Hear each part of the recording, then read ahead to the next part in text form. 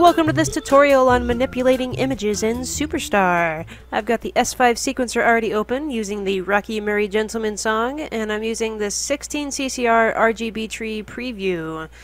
So I'm going to uh, get started by selecting, uh, changing my select to select the whole row, and I'm going to create a Superstar effect and click on this uh, ribbons and RGB star row, and this will open up the Superstar sequencer.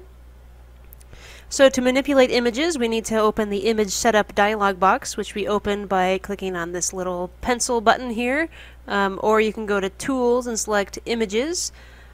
So to manipulate an image, we need to draw an image. Um, so I'm going to get rid of that little white dot, and I'm going to draw a rainbow snowflake that we're going to manipulate. So I'll start with red, and then as I click, it'll cycle through the rainbow.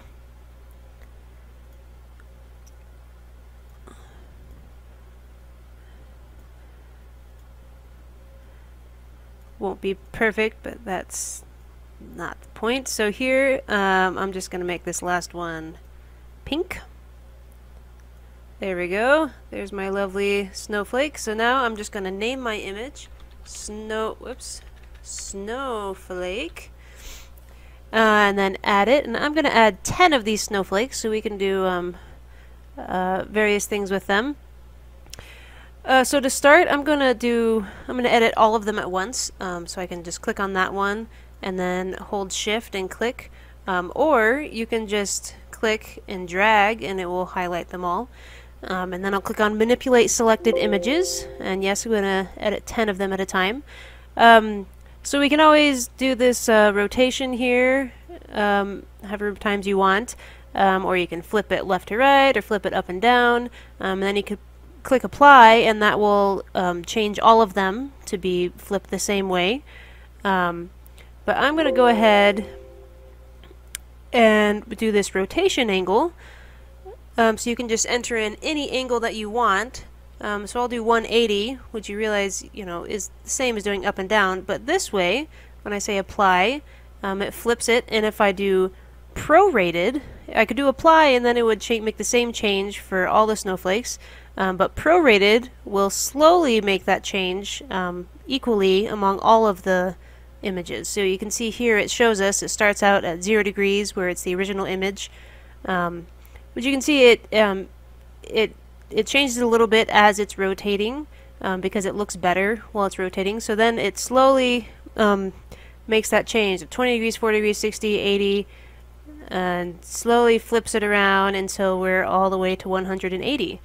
So this way, you can um, easily add effects here, um, some actions. So I'm going to change this to be 0, 0 because we don't want it to move. Um, and I'll just select um, some of those boxes here and say add plus, um, starting at that 0. Oops, guys, make sure that's at 0. And then I'll just say add, and I'll add my 10 actions um, using my snowflakes and now we can see it as it slowly rotates to be upside down. So let's take a look at that. So there we go. So now we've got it spinning. Um, so let's go and do a couple more things to our snowflakes. So I'm going to click and drag to highlight all those and manipulate. And um, this time I'm going to adjust the brightness. Um, so I'm going to bring it down to say 10% brightness and say apply so that makes it essentially so you can't see it um, and I'll do the same thing I'll prorate it so then uh, it starts at 100% and then it slowly will get uh, will slowly fade away until it's essentially gone right and since I already added these images to the actions I don't have to change the action at all so now we can just look at it and watch it slowly fade away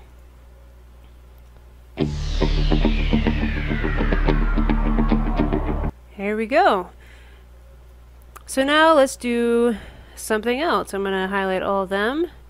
Say manipulate. Um, you can also use this uh, move and scale. So I'm going to go ahead and scale it first. So I'll just click on that. Um, and this way you can make it bigger or smaller, um, either left to right or up and down, or both. Um, so I want to make it a little smaller, so I'll make it like 80% um, left and right and 80% up and down. So not a ton, but just a little bit smaller. And then I can do the same thing and say prorate. Uh, and it shows me um, the width and height, how much it's getting bigger and smaller as it goes. Um, so now let's watch it as it gets smaller as it's disappearing, as it's uh, spinning around. There we go. So it's a little subtle, but you can see it getting smaller. Depending on your image, um, you know, it'd look better as it gets smaller, but the, it's already kind of small to begin with. Um, so now let's do the movement. So I'll highlight all those again, and I'll click on uh, select move. So I'm going to move this snowflake from the top left corner to the bottom right corner. So as it's disappearing, as it's spinning, as it's fading away, um, and as it's getting a little smaller, it's going to also move down to the corner. Um, so I can just move it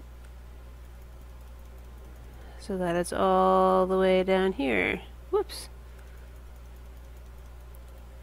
There we go. And again, I could say apply and then it would move them all down here, but I'm going to prorate it again.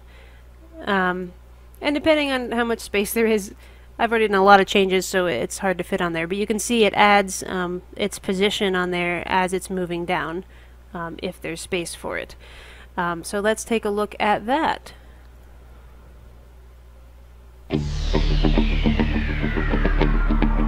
There we go. So it's falling and spinning as it's disappearing.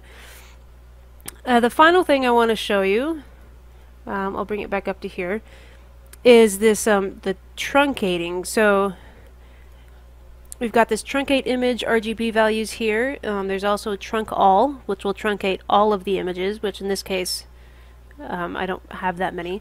Um, so what the truncating does is it will make it, it changes your, your colors so that all your colors are rounded to the nearest 10.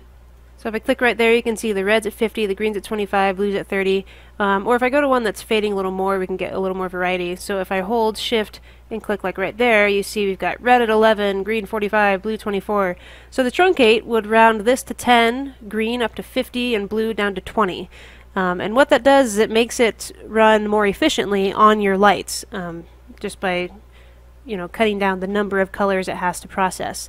Um, so let's go ahead and um, if I selected, whoops, if I selected all of these and said truncate image RGB values and say apply, obviously that's not something to prorate, so it's grayed out, and say apply, now, say when I'm down here and I shift and click, we've got 50, 30, 60, 10, 50, 20 like we had before, you know, and all of them are rounded to the nearest 10. Um, so you'll find that that will help a lot um, and visually, uh, you can't, it doesn't make that much of a difference because the colors are still close enough, but it will make it run much smoother. So again, if you have problems with lag when you're running images on your actual lights, then you can use this truncate um, to help them display smoothly without lag. Um, lag is usually a problem you only have with bigger images. So images such as this snowflake um, is probably not going to lag, um, but it can be very helpful on those bigger images. Um, and one quick thing I didn't mention before, um, when you're doing um, moving or scaling, it will scale the image from the top left corner. So if I had moved it first and the image was like down here, the program is going to think that your image is that big, right? It measures it from this top left corner. Um, so if you do want to scale and move, make sure you scale it first and then do the moving so that the scaling um, doesn't get thrown off. Um, so, now that we've truncated it, let's just look at it one more time.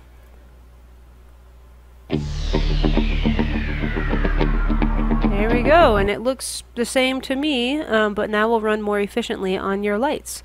So I'll go ahead and close this and let that load back into our um, sequencer. Okay, so now in here, let's take a look at um, what that looks like. There you go, easy as that. That's all I have for you today. I thank you for your time, and I hope you have a superb day.